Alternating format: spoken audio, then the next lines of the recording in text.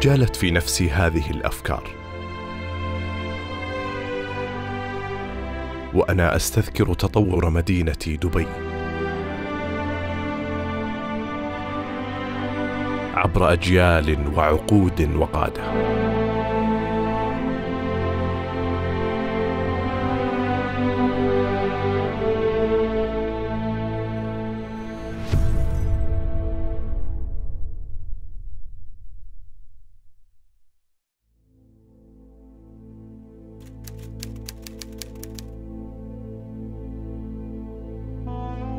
لقد آمن جدي الشيخ سعيد بن مكتوم بالانفتاح على العالم وتحرير الاقتصاد ودعوة التجار ليتخذوا من دبي محطة لهم ونجح بذلك في تحريك المياه الراكدة بعد الكساد الكبير الذي أصاب دبي.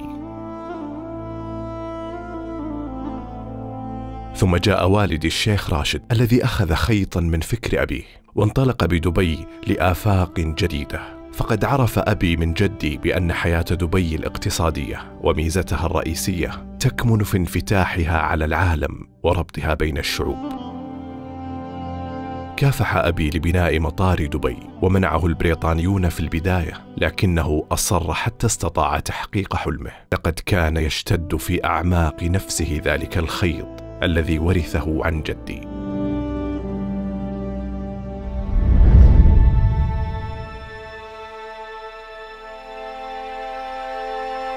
كنت في العاشرة من عمري تقريبا عندما أحسست ذلك الإحساس. أننا في دبي لدينا كل الإمكانيات المطلوبة لنكون مدينة كبيرة للتجار والزوار. كان مجرد إحساس راودني بينما كنت مذهولا وأنا أقف لأول مرة في حياتي وسط مطار هيثرو في لندن. كان ذلك في العام 1959 حيث كان والدي حينها في زيارة إلى العاصمة البريطانية ليحاول إقناع رئيس الوزراء آنذاك بالسماح لدبي أن تبني مطارها. في نهاية السبعينيات كنت في حديث مسائي مع والدي عندما أخبرته بأننا لابد أن نطور طيراننا المدني بشكل أكبر ونستثمر هذا المطار بشكل مختلف ونبدأ التسويق لدبي بشكل جديد. نظر والدي في عيني. فرأى جديتي في الموضوع. قال لي تعال بخطتك خلال يومين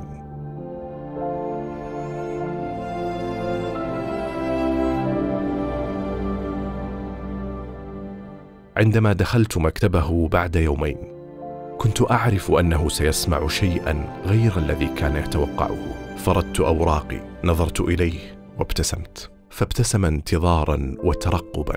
أرجع كرسيه للوراء وأخرج غليونه وبدأ يصغي باهتمام.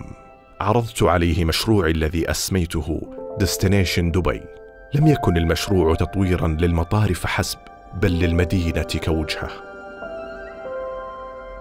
حدثته عن تطوير المطار وعن إطلاق سياسة الأجواء المفتوحة في دبي. لتمكين أي شركة طيران من تسيير رحلة من وإلى مطار دبي وعن إطلاق حملات للتسويق لدبي وبناء فنادق جديدة في الإمارة.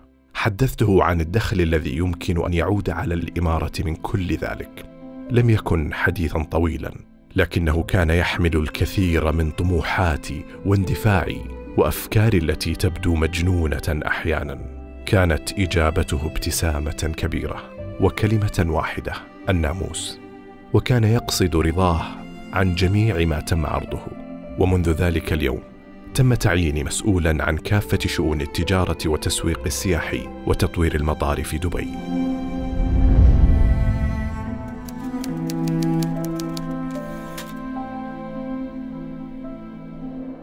وقبل عدة أعوام وتحديدا في العام 2014 خرجت الصحف البريطانية بعنوان عريض في صفحاتها الأولى.